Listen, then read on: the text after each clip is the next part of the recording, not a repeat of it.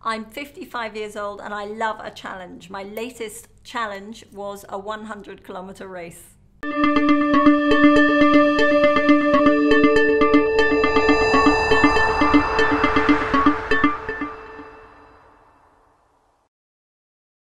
Hi everyone, I'm Caroline Labouchere and today I'm going to talk to you about health and fitness. I have always been into fitness. I've always been into keeping trim, and I think that's what has motivated me most of all. So I have always, as I said, I've always kept fit and married somebody who was also incredibly fit. And so our children are also very fit now.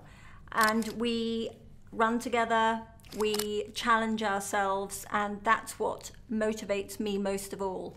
It is setting myself a challenge, being a fast 10 kilometer race or um, a distance race. I did my first ultra marathon at the beginning of this year in Cape Town, the two oceans, that was 56 kilometers.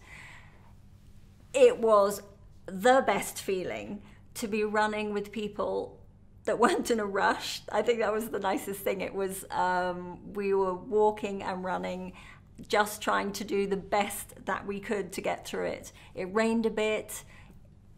Everybody was happy. It was a fabulous experience.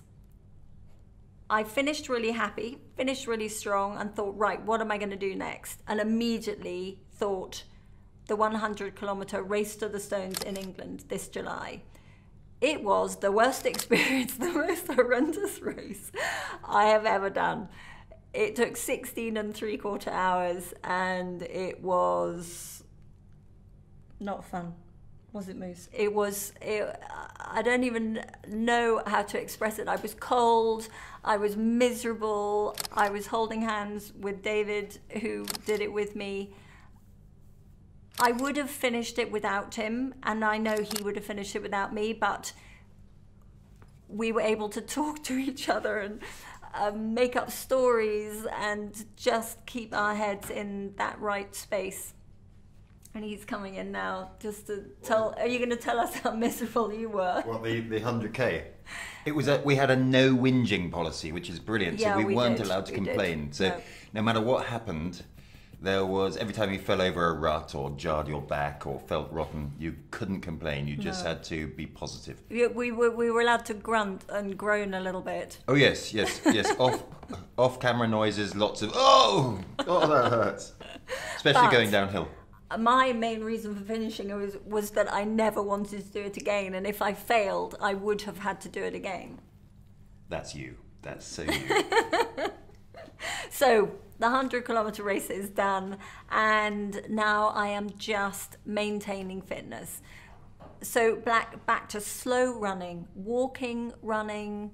It's very hot and humid here at the moment, so whatever works uh, for you. If, even if it's walking every day, I get out for half an hour and jog maintenance is the is the most important thing. So jogging for five kilometers every day, occasionally up to ten during the week. I haven't got anything, uh, any race for this year, but my next goal is the Polar Marathon, which is next October because I was too late en- to enter it this year.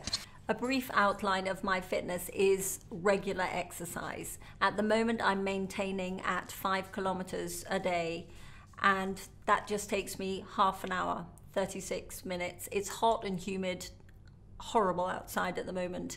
So just getting out there and getting it done is really, it's not the end of the world, and it does make me feel better. In fact, I get quite grumpy if I don't get out and do it.